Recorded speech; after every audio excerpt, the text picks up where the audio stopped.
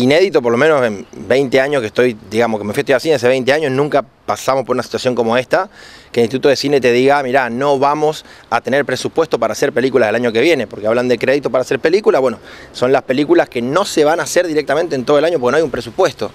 Y es un hecho inédito y verdaderamente preocupante. Nosotros creo que en abril estuviste por acá, ya charlamos de que teníamos un montón de dudas y de alarmas y preocupaciones cuando sacaron al presidente del Instituto de Cine, que le había puesto la propia gestión de Mauricio Macri, pero lo sacaron y dejaron un reemplazo. Y hoy empezamos a ver un poco las consecuencias de aquello, ¿no? Dejar al cine sin su presupuesto, que el televidente tiene que saberlo. Eh, no es plata que le saquen al jubilado, al docente, o a los maestros o al hospital.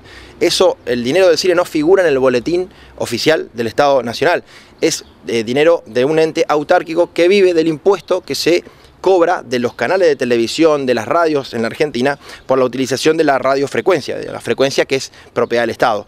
Pagan un alquiler para usar las frecuencias para transmitir. Entonces, de ese impuesto, en buena medida se sostiene el CIE Nacional, otro tanto con el costo de la entrada, que se debita del 21% del IVA, no es un monto extra, pero en buena medida el 65% es de este impuesto que pagan las empresas privadas. Entonces, no es dinero que se le quita a los argentinos.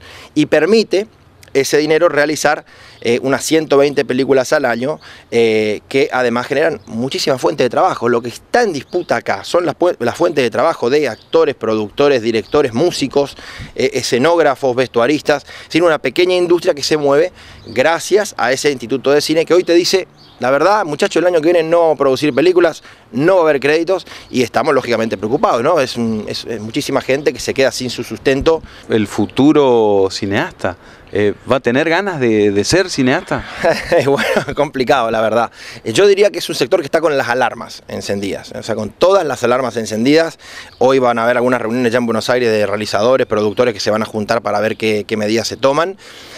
Sí, es, el, orgullo de este país ha sido, mucho, eh, en lo que tiene que ver con el cine, justamente el Instituto de Cine y la ley de cine que tenemos en la Argentina, que permite fomentar este número de 120 películas al año que, como te decía antes, nos representan en festivales de cine, eh, son reconocidas, son vendidas al extranjero. Nosotros, la serie Paraná Historia de un Río, que la hicimos acá con nuestros pescadores del Río Paraná, la vendimos a Estados Unidos, a la televisión de allá, que tiene también un, mercado latino importante, y que sin embargo hoy está, está en peligro. Sí, yo me pongo la piel del estudiante de cine, del pibe que está estudiando cine ahora, y digo, la pucha, eh, el Estado le está dando la espalda al cine, como le está dando la espalda a varias eh, ramas culturales en general, y lo estamos viendo. Eh, ¿Qué, qué visorás para el 2019? Mirá, hay que pasar primero el 2018, ¿no? Todo el 2018 se va a pasar sin dinero para créditos hasta el 2019, y no están diciendo que en el 2019 se van a reactivar ojo con eso, porque no están diciendo que va a ser solamente un año, eh, puede extenderse.